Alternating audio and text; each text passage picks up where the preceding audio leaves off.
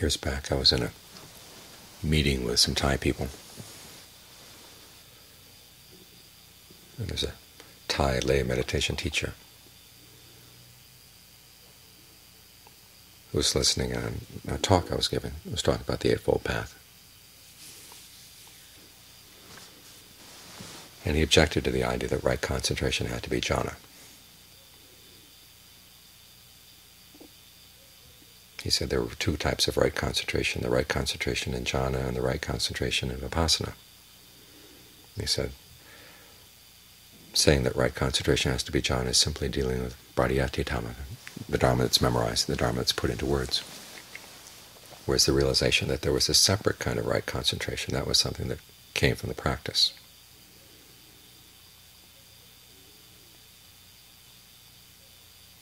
I later mentioned this to Ajaan Suwat, and his comment was, well, the fact that he says that, that turns it into pariyatti dharma too. That's also memorized dharma, dharma put into words.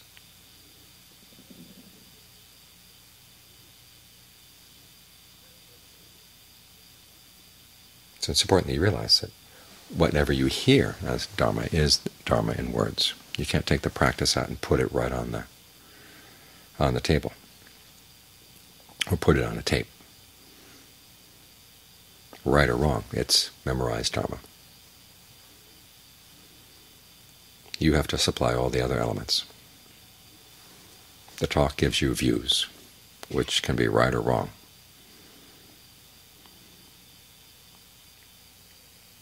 And as the Buddha says, that one of the factors that can spark right view in, in yourself is hearing the voice of another person who teaches appropriate attention.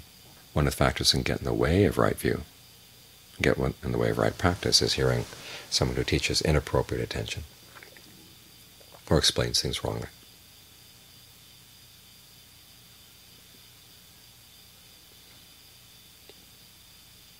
But all the other factors have to depend on you. In other words, the Dharma you want is not just the Dharma of words, it's the Dharma of qualities in the mind that you want to develop. And the right view is one of these qualities. And so you have to learn how to listen to the Dharma, to recognize what's genuine Dharma and what's not. Part of that comes from being widely read, and part of it comes from your own practice, learning to recognize what works and what doesn't work in your own practice. But everything else, from right resolve to right concentration, that's totally your contribution. You have to make sure that all the factors are there. Say with right resolve, the resolve for renunciation, the resolve for non-ill will, the resolve for non-cruelty. You have to have all three factors present if you want to be on the path. Renunciation means looking at any sensual passion that comes up in the mind and learning how to say no to it. It's not that you're going to go totally without sensual pleasures. And there's no way you can live in the human realm without some sensual pleasures. They're bound to be here. Simply being out here in the in the forest, even though it's hot, there's still a lot of pleasure in being in a quiet place, having trees around you.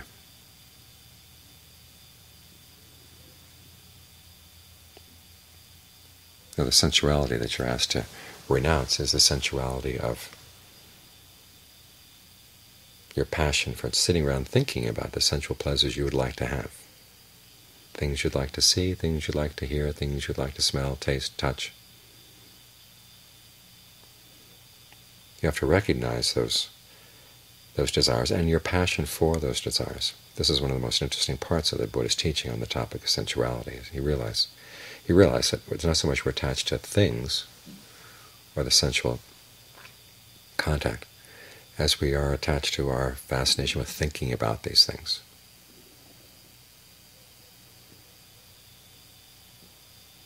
planning these things and then going over the sensual pleasures after they're over. The mind can spend days, weeks, months, years commenting to itself on this kind of stuff. Whereas the pleasures themselves are pretty fleeting. But we try to milk as much satisfaction and gratification out of them by our constant commentary on them. And this, we have to realize, is where we drag the mind down. If this is the kind of stuff that you're fascinated with, the kind of stuff you're fixated on, then pleasure and pain become the big issues in life.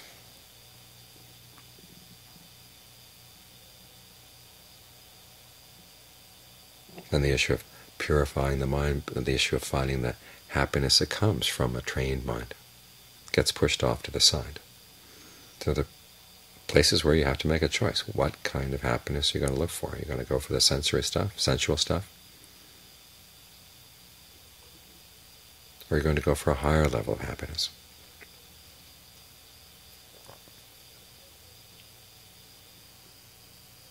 You have to make a choice. Most of us don't like to make the choice. We'd like to have our cake and eat it too.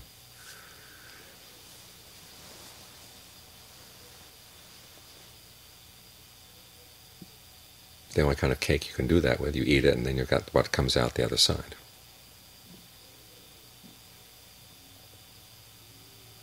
So you've got to choose what do you want.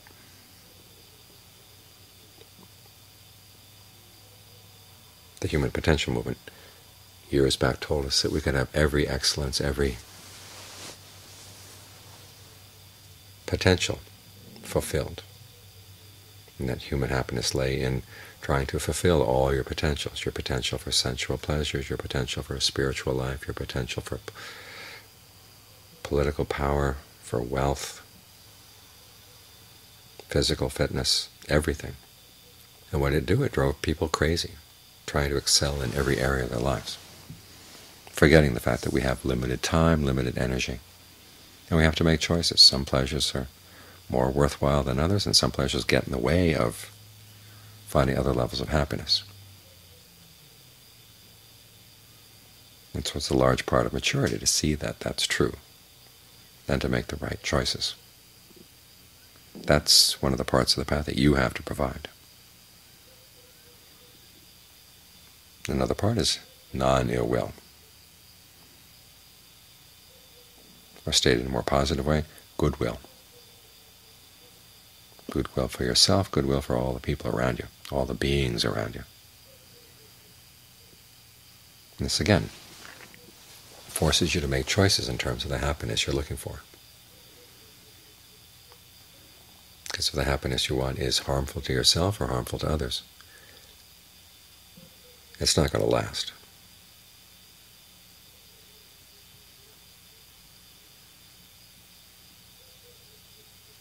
which means, again, that you have to be choosy about the happiness you, you go for.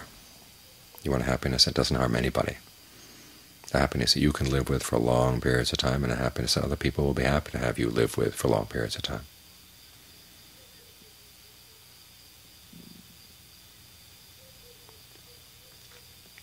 It's interesting for many of us, the goodwill for ourselves is one of the hardest parts of this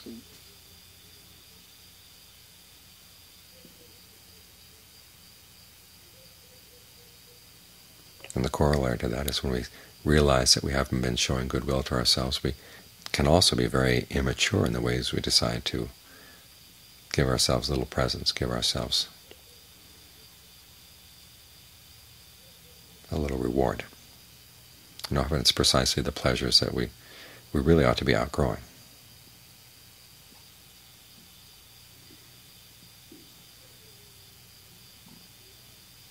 You have to think hard about the happiness you're looking for. And about how you can't really live for any length of time without some happiness. And you have to honor your desire for happiness. There's a large part of society which gets into our own psychological makeup that says you've got to deny yourself happiness for the sake of other people. And that gets so ingrained.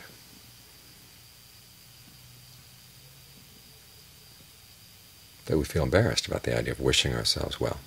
Other people, of course, totally resist that message from society, and all they can think about is gratifying any little desire that comes up. Both attitudes lead to suffering. You have to honor your desire for happiness, but you want it to be true happiness. Happiness doesn't turn on you, happiness that doesn't turn on anybody else.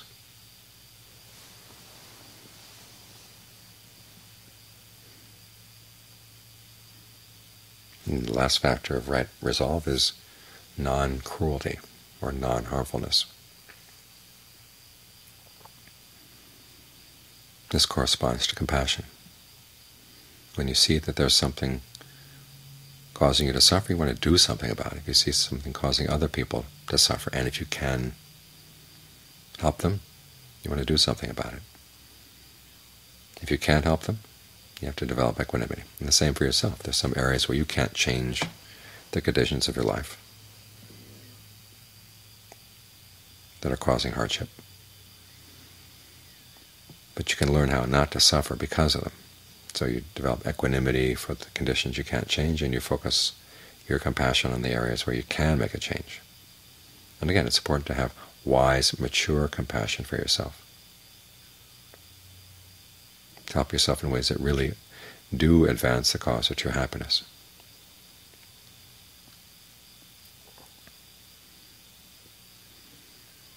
So if you find that the path is getting dry, things aren't working, you might want to stop and look at this factor of, of the path, right resolve, to make sure that you understand what we're here for. We're here to honor our desire for true happiness. So the Buddha's teachings are all about.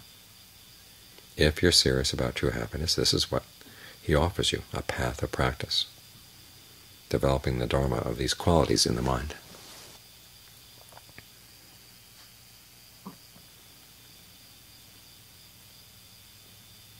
So that you understand that this is where true happiness comes from. It's from the qualities of the mind and not from having things outside arranged in a particular way.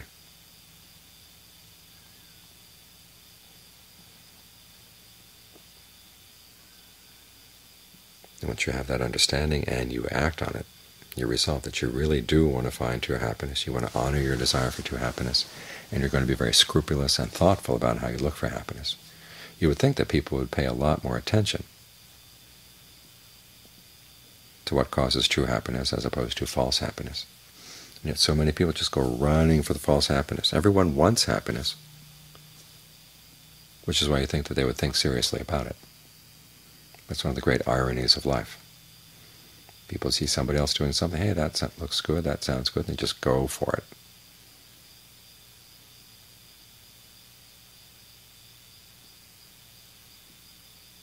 Without really ser seriously thinking about what kind of happiness would provide true satisfaction. So the Buddha offers us a right view.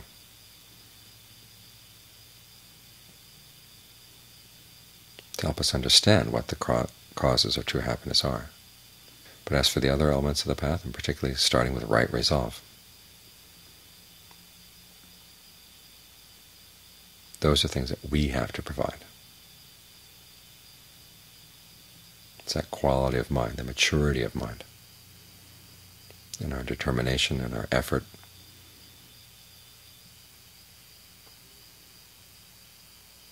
All these things, those are the qualities that make the path whole.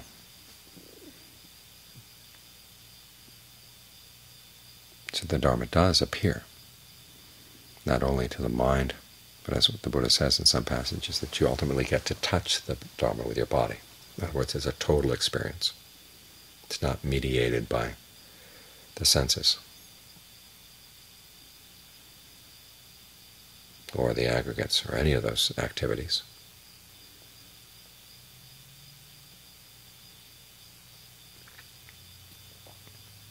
At that point you can let go of the path. You don't need right view anymore because you've got the happiness that, that more than more than, satisfi more than satisfies the desires for happiness you've had all along.